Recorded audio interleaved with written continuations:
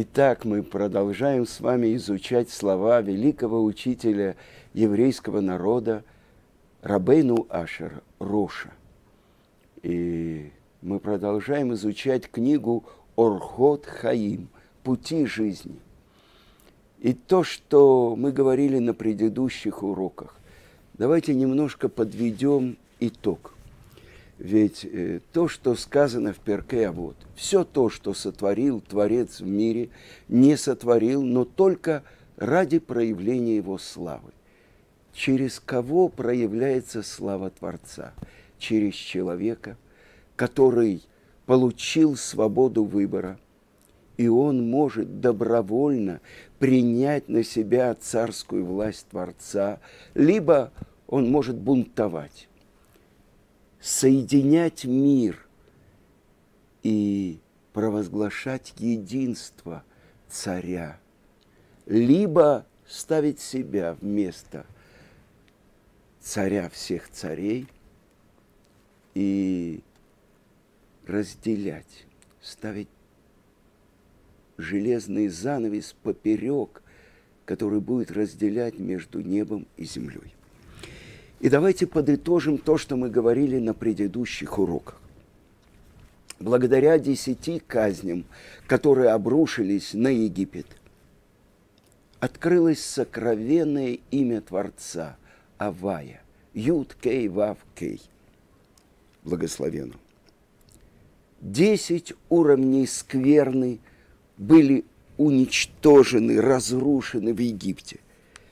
И благодаря этому – вернулись десять речений, которыми Творец сотворил мир. И давайте вспомним Перкеавод, ведь Творец мог сотворить весь мир десятью речениями, но дать плату праведникам, которые поддерживают мир, который сотворен десятью речениями, и взыскать со злодеем, которые разрушают мир, который сотворен десятью речениями.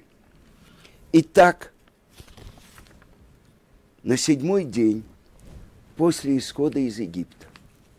Казалось бы, что может быть еще?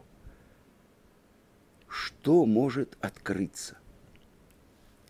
И открывается новая ступень раскрытия имени Творца. Песня у моря, которую пропели евреи, она открывает новый уровень его постижения то есть то, как Творец управляет миром, как одновременно Он спасает своих праведников, то есть еврейский народ, и при этом наказывает злодеев, египтян. Творец раскрывается как всадник, который управляет как бы находится на коне – всадник. А что является конем? Весь сотворенный мир. Как Творец управляет миром. А конь – это весь сотворенный мир. Итак, те, которые вчера только думали про то, где достать клочок соломы, чтобы исполнить норму кирпичей, становятся теми, через которых раскрывается самая великая песня Творцу, прославление Творца. И казалось бы, мы идем, поднимаясь со ступени на ступени. Но вот, нападает на нас Амалек, то, что мы говорили с вами, в месте, которое называется Рафидим, месте, которым Рафу Едеем, ослабели наши руки от постижения Торы. И нашли среди нас те, которые сказали, а есть ли среди нас Авая или нет? И тогда задается вопрос, на кого мог напасть Амалек? Ведь мы окружены со всех сторон облаками славы. И оказывается, что те, которые сомневаются в Творце – облака их изгоняют из места присутствия Творца. И на них нападает Амалек. и выбирает Моше, своего ученика Иошуа бен Нуна, чтобы он вел войну против них внизу, а Творец слышит молитву Моше, который с воздетыми руками над головой молится и просит, вернее, ведет войну там, на небе, против покровителя Амалека, сатана. И сказано, что Иешуа побеждает. Но что здесь происходит? И сказано, и ослабил Иешуа Амалека и его народ мечом. Ослабил, Раша объясняет, убил всех могучих и оставил слабых по повелению Творца. Что же происходит после этой победы с нашим постижением Творца? Ведь Амалек возглавляет всю колесницу скверны, которая находится в этом мире. И благодаря этой победе происходит еще одна ступень в постижении и раскрытии имени Авая. Благословен он. И вот на сорок второй день после песни у моря Раша объясняет, это происходит 5 Сивана, за день до дарования Торы. Когда Муше собирает весь народ и читает им книгу Брита, книгу Союза. Раша объясняет, всю книгу Берешит и до середины книги Шмот, до главы Итров, в которой описывается дарование Торы. И он передает евреям вопрос, готовы вы получить Тору? И именно в этот день, за день до дарования Торы, отвечает весь еврейский народ на «се венишма». То есть от Творца мы готовы принять все безгранично, а затем будем слушать и изучать Его повеление. И открывает Вавилонский Талмуд, трактат Шаббат. Что же происходит в этот момент? Трактат Шаббат, 88 лист. Что в тот момент, когда мы сказали на Асева Нишма, спустились с неба 600 тысяч ангелов, и каждому еврею повязали на голову две короны. Одну за то, что мы сказали, будем исполнять, а вторую за то, что мы сказали, будем слушать, будем учить. А из чего же были сделаны эти короны? Раша объясняет, что они были сделаны мизив шхина, из лучей славы шхины. И тогда, на следующий день, когда на рассвете 6 Сивана 2448 года выводит Моше весь еврейский народ к горе Синай, как невесту, которая идет навстречу своему возлюбленному жениху. Открывает Тура, что в этот момент вся гора объята пламенем. Почему? потому что спустился на нее Творец. Раши говорит, семь уровней небес были как будто простелены, как простыни, на гору Синай. И в этот момент написано в Торе. «Вейдабер эт коля дворима эле леймур». И сказал Всесильный все слова эти, говоря – и Раши тут же говорит, а источник э, этого в наших святых книгах, в Тикуне и Зор, то, что губы человека не могут произнести, и ухо его не может воспринять. Все десять речений, все десять заповедей были сказаны одновременно. И для чего? Для чего это должно было быть сделано? Все десять заповедей прозвучали для, для всего народа в едином речении. И что же в этом заключено? Чтобы мы знали, что есть только один источник, Творец. И все десять заповедей – имеют единый корень. Но продолжим дальше.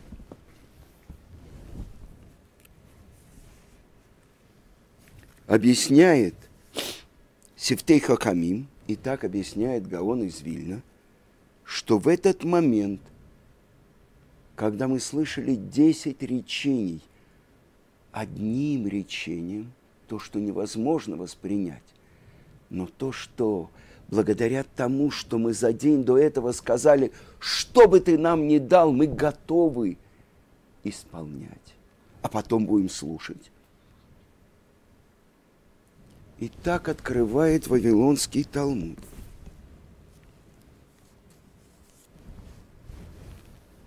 Сказал Раби Ушуа бен Леви,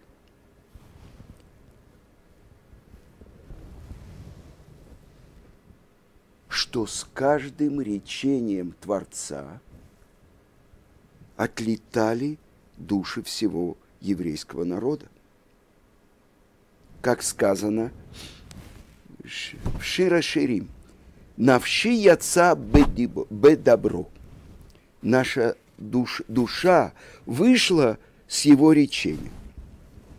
Но после того, как мы услышали вот это – десять речений одновременно,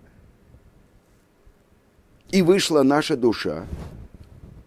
Второе речение, через кого же было дано, как мы могли это получить? И продолжает Раби Ушо бен Леви в трактате «Шаббат», 88 лист, э, вторая страница, что Творец спустил росу которой в будущем будет происходить оживление мертвых, и вернулись наши тела в наши, э, наши души в наши тела.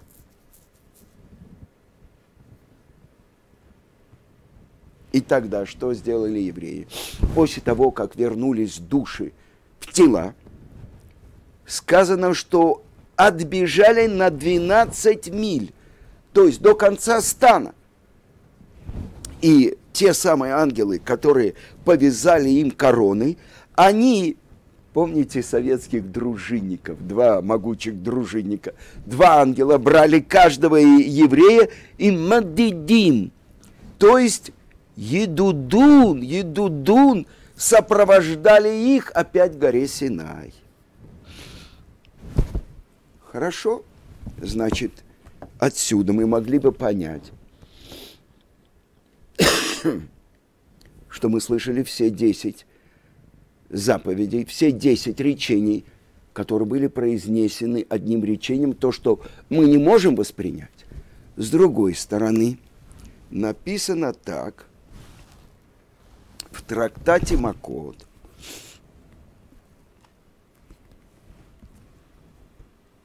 Дараш Раби Симлай. Толковал Раби Симлай, что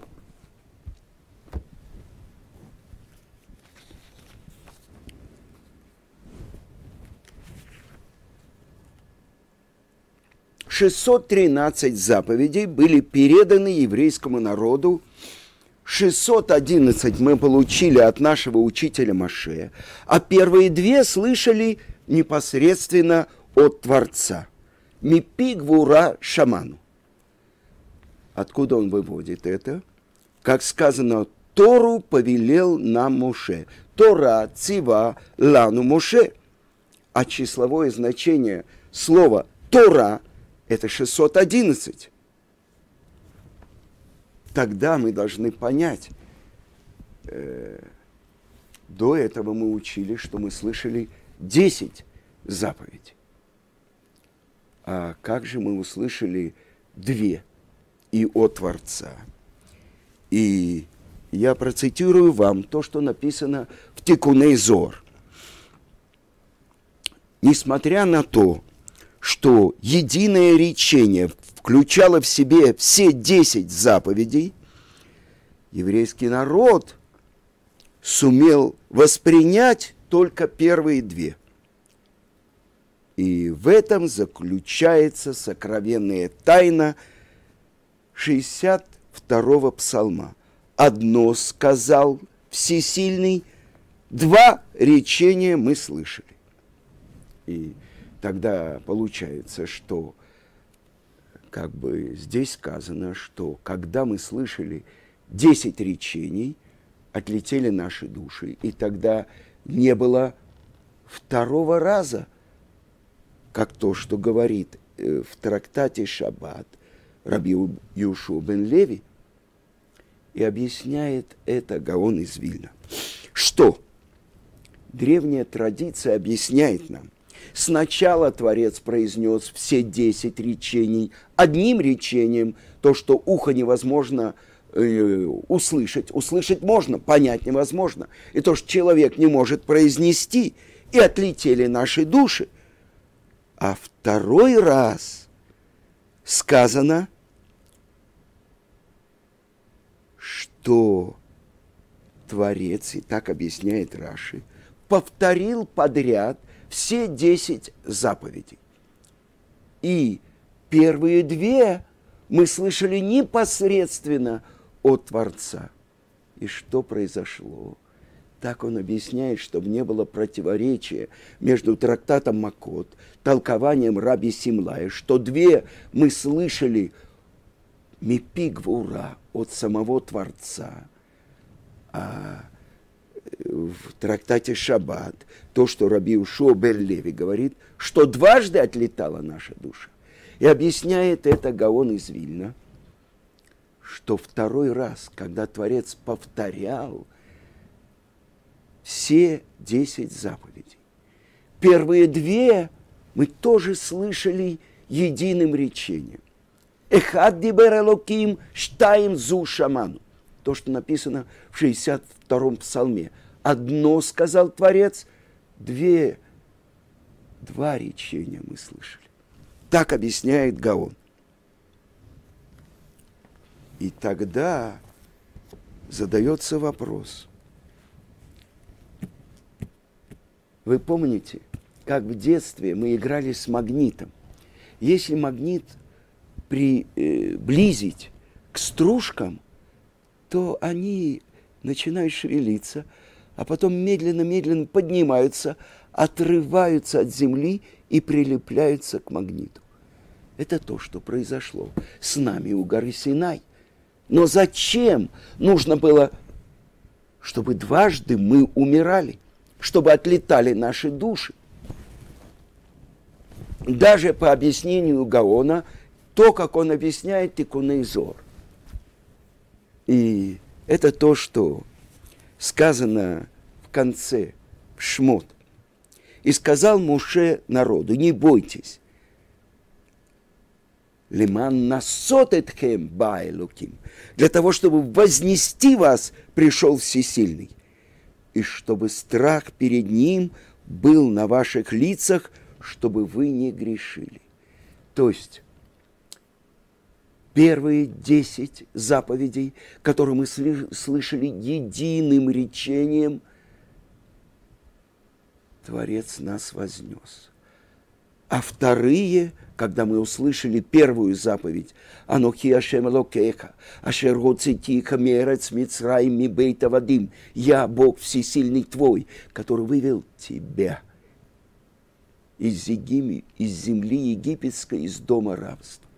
А вторая Луиелеха Элогима Керим Альпанай, чтобы не было у тебя никаких других божеств перед моим лицом. Первая, чтобы вознести, а вторая, чтобы был трепет. Но почему дважды? Почему не хватало бы одного отлета души? И это то, что объясняет Рамбан в своем комментарии.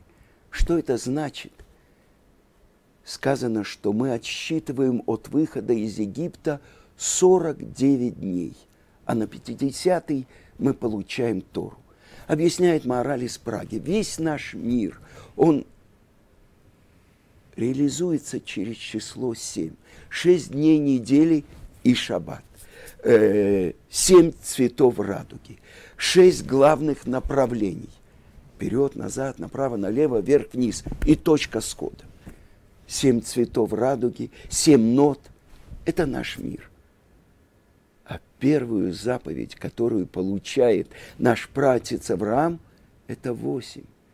На восьмой день пусть будет обрезан у вас каждый мужчина. Это он делает первый, эту заповедь. С другой стороны – все варианты возможностей соединения семи. Семь на семь – это сорок девять. Когда мы подошли к границе всех границ, мы сказали, что бы ты нам ни дал, мы готовы исполнять, а потом будем слушать. И Творец говорит, кто открыл эту тайну моим сыновьям, которые ангелы на небе пользуются исполняющую его волю, слушающую его голос. Так что же произошло? То есть на 50-й день, восьмой, мы получаем Тору. Мы, сделанные из плоти и крови, в этот момент поднимаемся на уровень ангелов.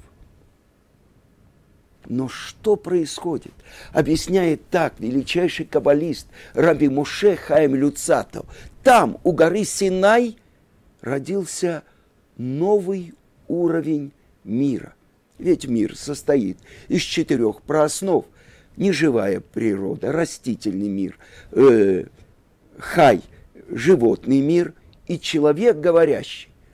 У горы Синай произошло рождение особенного народа. Народа, получившего Тору. А теперь давайте поймем. Два раза происходит вот этот отрыв души из тела. Помните, когда магнит приближается к стружкам, наши души отлетели к источнику. То, что объясняет Рамбан, что означает, что наш учитель Моше, он получил 50 уровней понимания, кроме одного. И он объясняет, что же это за 50 уровень постижения. Это когда душа сливается со своим источником.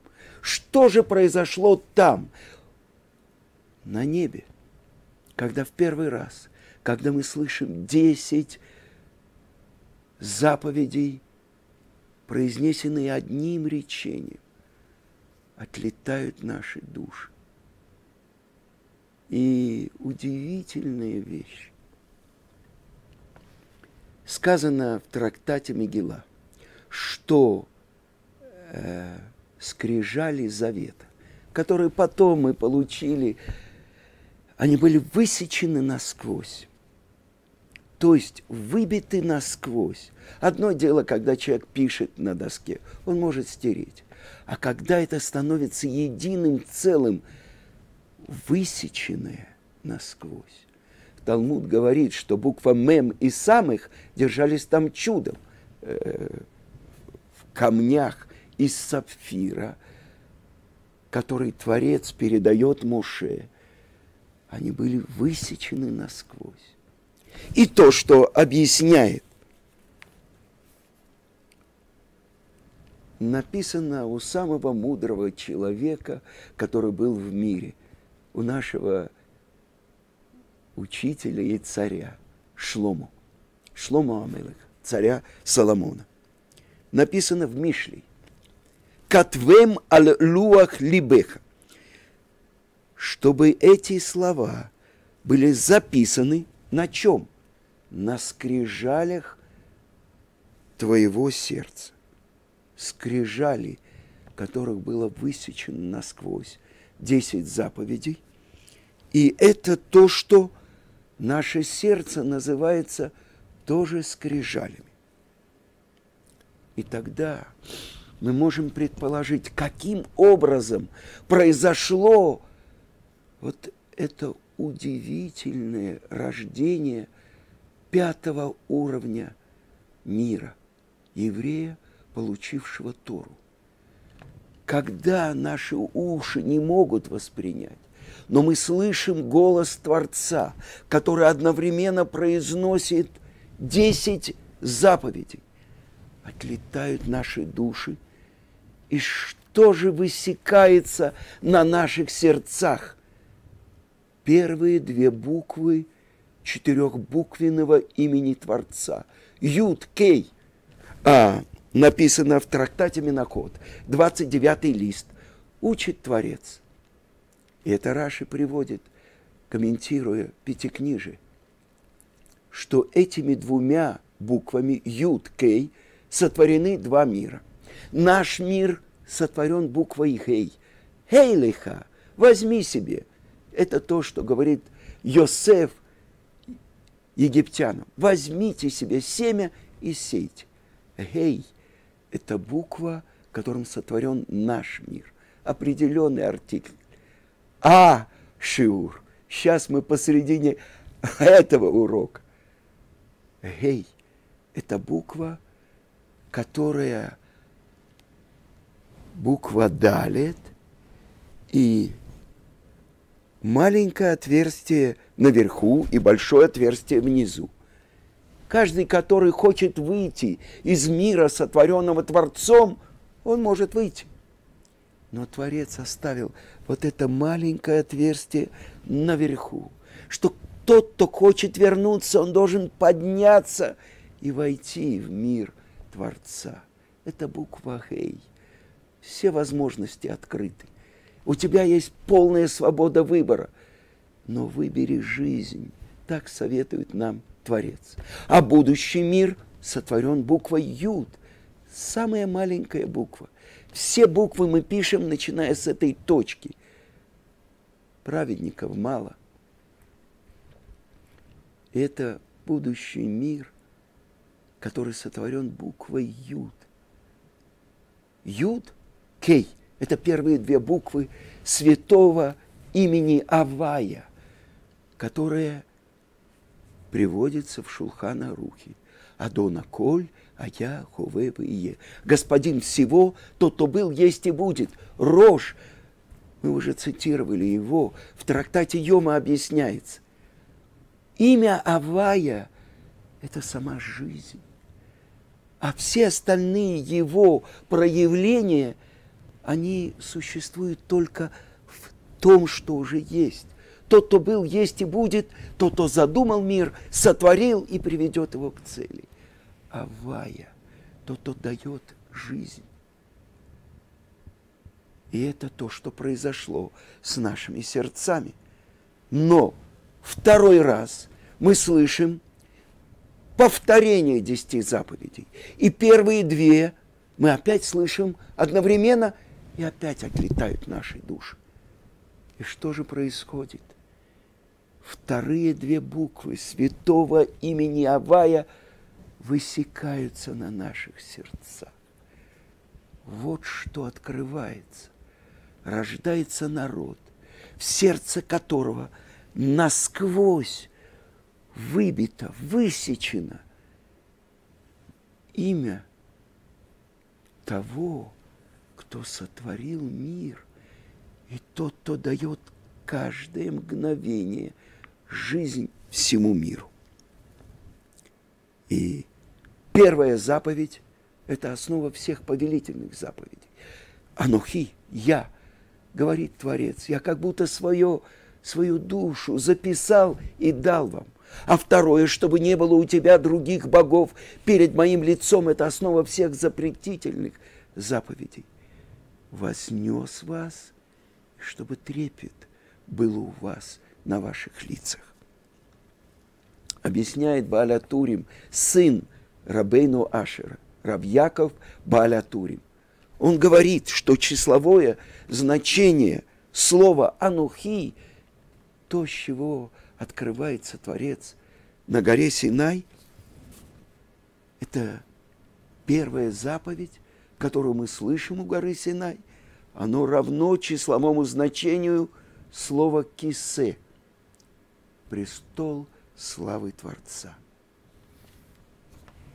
Итак, то, что открывается, когда второй раз возвращаются наши души в наши тела, рождается народ, в сердце которого становится скрижалями завета, на котором высечено это четырехбуквенное имя Творца, Авая, благословен Он. И тогда открывается удивительный обычай еврейского народа. Так я слышал от Гаона Равмойши Шапира, моего учителя. Как во всех синагогах изображают скрижали завета. Ведь скрижали были квадратными. А их изображают так, будто над ними детской рукой нарисовано сердце. Вспомним то, что написано в Мишлей «Катвен аллу аклибека», чтобы они были написаны на скрижалях вашего сердца. Вот что это, это означает. И объясняют наши мудрецы, в этот момент полностью вышло из наших сердец дурное начало. И ангел смерти, сатан, Ецарара, Малаха Мавет, потерял над нами всякую власть.